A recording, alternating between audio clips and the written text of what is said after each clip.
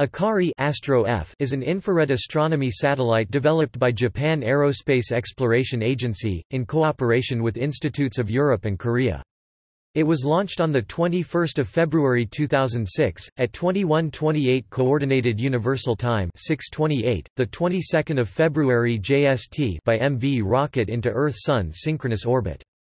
After its launch it was named Akari, Ming Kari which means light in Japanese. Earlier on, the project was known as IRIS infrared imaging surveyor.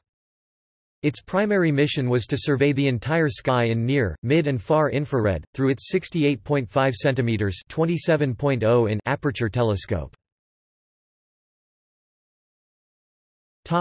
Technical design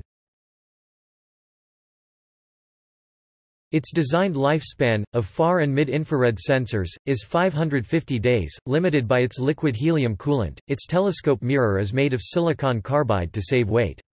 The budget for the satellite was 13 yen, 4 billion, tilde 110 million dollars. Topic: History By mid-August 2006, Akari finished around 50% of the All-Sky survey. By early November 2006, first phase 1 All-Sky survey finished. Second phase 2 All-Sky survey started on the 10th of November 2006 due to the malfunction of sun sensor after the launch. Ejection of telescope aperture lid was delayed, resulting the coolant lifespan estimate to be shortened to about 500 days from launch. However, after JAXA estimated the remaining helium during early March 2007, observation time will be extended at least until the 9th of September. On the 11th of July 2007, JAXA informed that 90% of the sky was scanned twice. Also around 3,500 selected targets have been observed so far. On the 26th of August 2007, liquid helium coolant depleted, which means the completion of far and mid-infrared observation.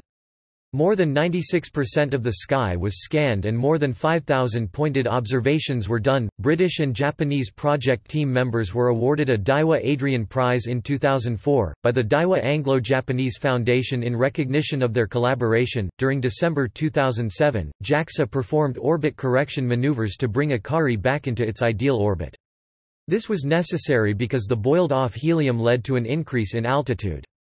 If this would have continued energy supply would have been cut off. In May 2011, Akari suffered a major electrical failure that rendered its science instruments inoperable when the satellite is in the Earth's shadow. The operation of satellite was terminated officially on 24 November 2011. Results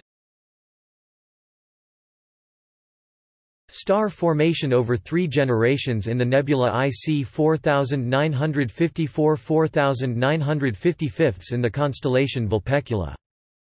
The first infrared detection of a supernova remnant in the Small Magellanic Cloud Detection of mass loss from relatively young red giant stars in the globular cluster NGC 104 Detection of the molecular gas surrounding the active galactic nucleus in the ultra-luminous infrared galaxy the constellation Orion and the winter Milky Way at 140 micrometers Star-forming region in the constellation Cygnus Active star formation viewed from the outside, the peculiar spiral galaxy M101 Dust processing in the supernova remnants in the Large Magellanic Cloud The Akari All-Sky Survey Point Source Catalogues was released on 30 March 2010, Astronomy and Astrophysics, Vol. 514 May 2010 was a feature issue of Akari's result.